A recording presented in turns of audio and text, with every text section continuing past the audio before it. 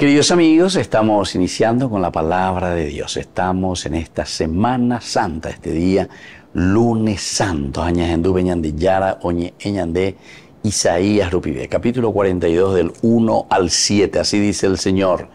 Miren a mi siervo, a quien sostengo, mi elegido, a quien prefiero. Sobre él he puesto mi espíritu para que traiga el derecho a las naciones. No gritará, no clamará, no voceará por las calles la caña cascada no la quebrará, el pábilo vacilante no lo apagará. Promoverá fielmente el derecho, no vacilará ni se quebrará hasta implantar el derecho en la tierra y sus leyes que esperan las islas. Así dice el Señor Dios que creó y desplegó los cielos, consolidó la tierra con su vegetación, dio el respiro al pueblo, que la habita y el aliento a los que se mueven en ella. Y así continúa Isaías. Vaya de yarañe ella lleva en este lunes santo, queridos amigos. En primer lugar, es el siervo de Dios a quien sostengo de lleva.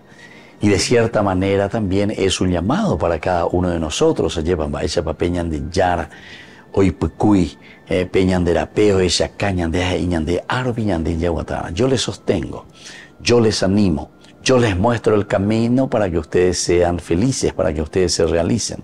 Ustedes, viste, mi elegido. Ustedes son mis elegidos en este caso, porque cuando de yara, oñe eñande, hina hoy cuando eñande, cuando e pone interés, me añande, ¿a quién prefiero? Sobre él he puesto mi espíritu para que traiga el derecho a las naciones. Tu yagüere como de misión tan importante, mara yara y potalle, oiña ñan dupona, porque también nosotros en la medida en que somos justos y vivimos estos principios, valores, riquezas y regalos de Dios, evidentemente que también vamos a llevar el derecho a las naciones. Nación, la nación es la gente, es el pueblo. Ñande hina lleva. Añade cristianos hay ñañe no hay peñande ya ya pues anguala y por mía la justicia. Porque ñico te metere y ñande lleva. Porque cada vez nos damos cuenta que estamos más sumergidos en el pecado sumergidos en la corrupción. Pidamos al Señor que en esta Semana Santa tengamos en cuenta y sepamos que el Señor nos ha llamado para cosas mucho más grandes y que la bendición del Señor descienda sobre todos ustedes el Padre y el Hijo y el Espíritu Santo. Amén.